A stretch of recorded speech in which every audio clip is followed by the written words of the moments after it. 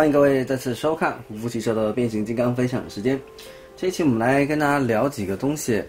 呃，我的话做变形金刚开箱已经十二年，那这过程当中呢，我是会收到一些米友赠送我一些玩具，那有一些是新的现货官方的产品，然后也有一些第三方的。那其中呢，也不乏会有一些网友们或同好朋友们的个人作品。那我今天的话呢，就把这三个呢给大家做一个简单的聊天。这是一位，他的名字呢叫做独狼。呃，如果你在闲鱼上面，你应该可以可以看到他的一些作品。然后他表示说呢，他即将要结婚了啊，那面临到一个脱坑的抉择。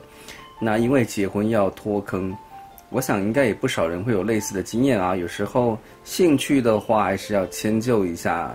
家里头的另一半，或者是你重要的人，那大家玩玩具也是量力而为了啊。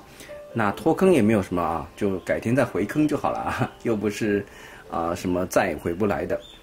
那么呢，今天的话呢，就给大家啊一同来分享一下他送给我这三个玩具。那么呢，首先我们来看一下最右手边这个好了，最右手边的这个是 SS 七十八号啊，它这个 Size Web 是一个双刀版本。那有趣的是呢，你可以看到啊。它是呢是已经用的这个泡包膜啊，这个真空的这个封，把它整个都封起来了啊，已经做了非常妥善的保护了啊。啊，这个贴纸是它本来贴着它的来信的，忘了把它撕掉。那这个它里头给各位靠近一点看一下，不知道镜头能不能带得到啊？它是一个已经涂成黑色版本的一个 size wipe，那封的非常的漂亮，导致于说我根本就不会想把它给打开。你可以看到里头还有绑线啊，整个就是像是一个全新的商品，这个已经就完全就全新化了、重置化了。那我当然就不不太可能把它打开了啊。那顺便提一下，蛮可惜的，就差了几天而已。如果说再早一些，能够赶上二月二十八号的话，我可能就把它一起封到时空胶囊里头去啊。啊，有一位米友的作品能够封起来，十年之后一起打开也是非常浪漫的一件事情。那另外右侧两边，这是大黄蜂电影造型的这个声波，那它做了一个是一个音板的配色，还有一个是镜像的配色，那都非常的好看啊。那我们先看一下这个黑色的这个音板吧啊，就比较常见的音波的重涂啊，啊，我很喜欢它手臂的这个处理啊，这个银色跟黑色一个很巨大的反差，看起来啊小臂就更加的粗大了，打打击的打击人的力气应该会变大。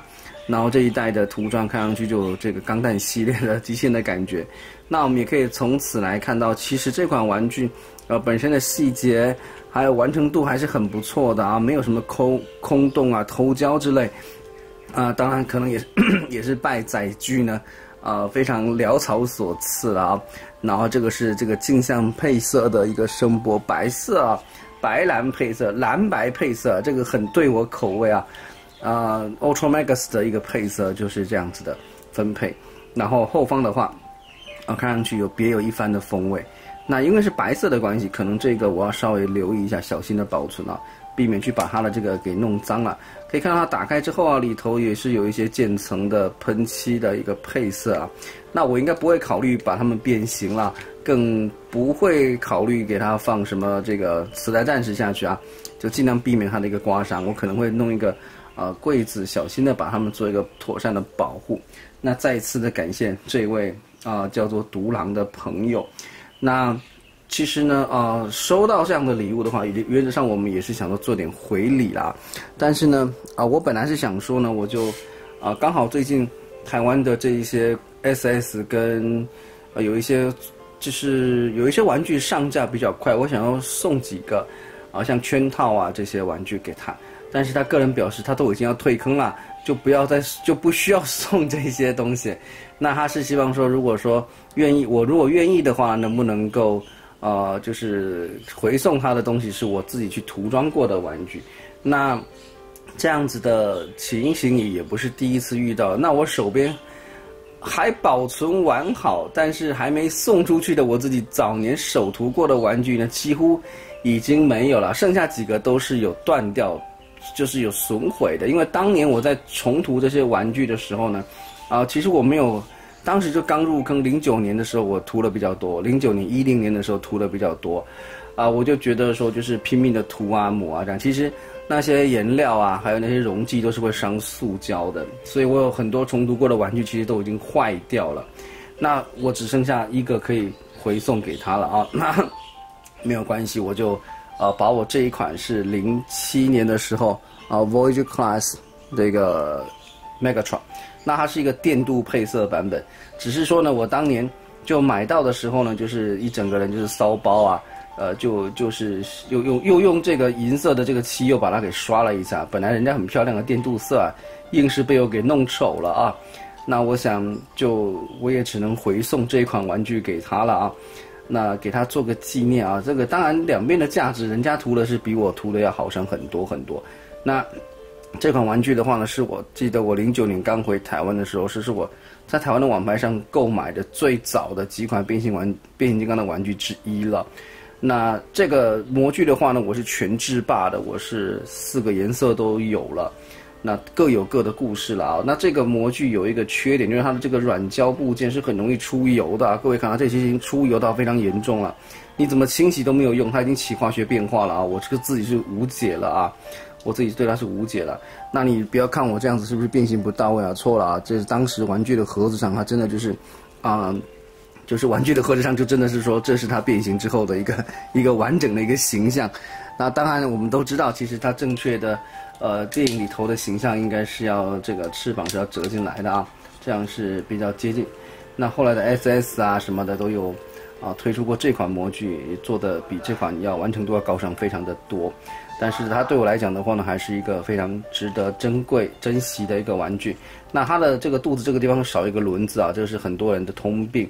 那不管怎么样呢，这一款的玩具的话呢，我就已经答应要赠送给他了啊。明天早上呢，我就会把它给寄送出去。那我想这也是我最后一次吧，最后一次的话呢，把它进行一个变形把玩了啊。那哎，手臂掉下来了啊！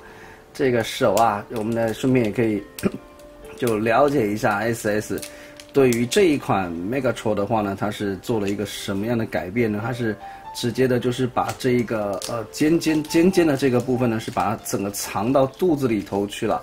好，这样子推过来，它是有一个联动的啊，推下来的时候呢是会有一个联动的。那背后这个翅膀啊，就。把它给扣到后面有一个凸根啊！这一期怎么变成讲解这个玩具了啊？它的这个 这个脚的话呢是有一个爪子的啊，它是有一个弹簧会自动的呢去回复到一个定位。